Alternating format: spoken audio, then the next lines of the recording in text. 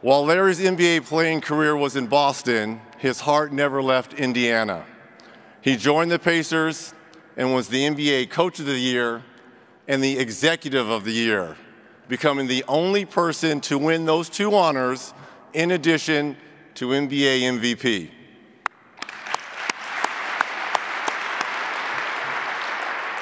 And if you guys want to know what pressure is, pressure is playing for Larry Bird, as Big Smooth, Jalen, they can attest to, playing for Larry Bird and having to go to Boston and win those games in Boston for Larry Bird.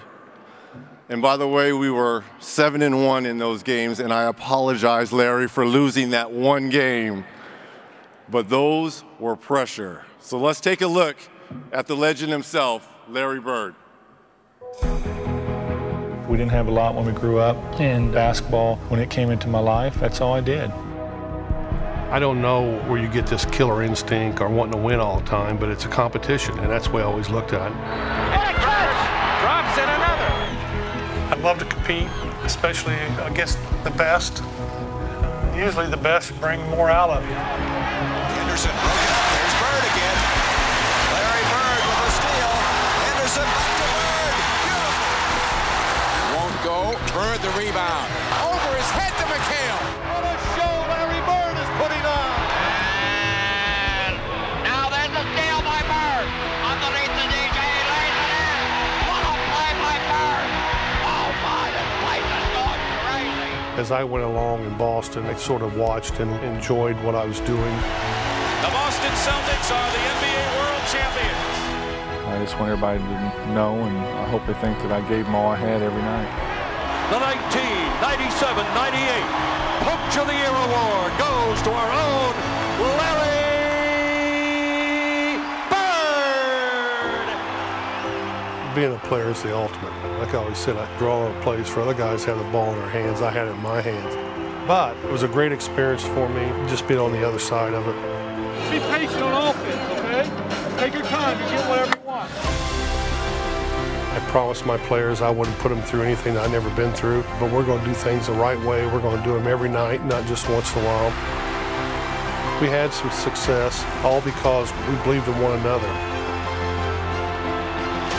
Like I tell people, this is all I know. Coming from a small town, going through college, playing the NBA, it's just something I never thought I'd be able to do. It's beyond belief.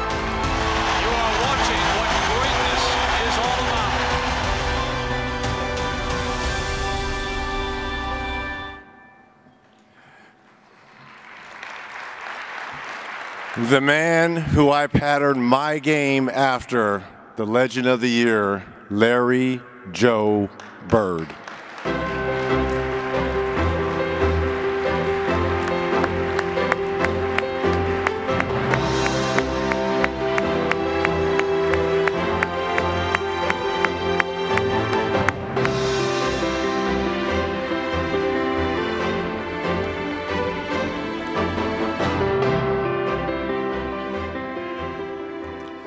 Good afternoon. I have not hit a jump shot in over 30 years, and here I am. Come on. You know, on, on Thursday night we had the open ceremonies, and uh, had the privilege of shaking Freddie Lewis's hand.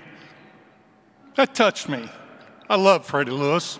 I played ABA. He was a point guard, very good player. See, I'm an ABA guy. I grew up with the ABA because that's all we get on our TV. My dad go out and tell me how to turn the antenna, and you holler at me, turn it back.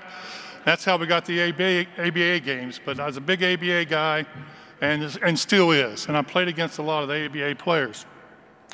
But I just wonder, we have all these legends in here that paved the way for us. If we never got a college scholarship, will we ever be able to play in the NBA? I don't think so. I think that scholarship that we got in college paved the way for us because we couldn't afford to go to college. You know, if I walked in and asked my dad for money to go to college, he ain't got no money. He'd probably slap me upside the head and go, go, go get a job like I did. But I know everybody in here that had an opportunity to get to college and paved the way. And, and I know for myself that once I got in the league, it was a blessing. It paved the way for my family and I to have a great life, uh, live a great life. I mean, it's just unbelievable of how things turned out for me. I competed hard. I played the game the way it was supposed to be played. I played injured, and I played with a lot of pride. So owe everything to the NBA. And uh, a lot of players I played against had some great teammates in Boston. I also got to coach for three years some of the finest young men you could ever be around. We didn't win a championship, but we got there. We won a lot of games. And after that, I was very fortunate. Herb Simon let me come in the front office for over 20 years. So I've been around a lot. I know what this league is all about, and I'm very proud of it. I'm proud of today's players. I like the game they play. Uh, it opened up for a lot of the players to be able to do some things and show their skills. Unlike back in the 80s when on the East Coast we hold and grab and push and fight and whatever it took to, to win games. But I like our game now. The one thing I would really like to see is they play hard tonight in this, uh, uh, tonight in this All-Star game. I think it's very important when you have the best, the best players in the world together. You got to compete, and you got to play hard, and you got to show the fans how good they really are. So I hope you enjoy your weekend. I'm enjoying mine. Have a good All-Star game.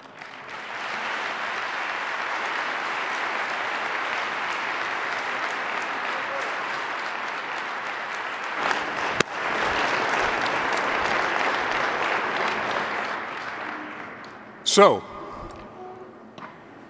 was it as I described this morning? It's one of the things I refer to the job I have, and I've been at inside the NBA for 35 years. It's a get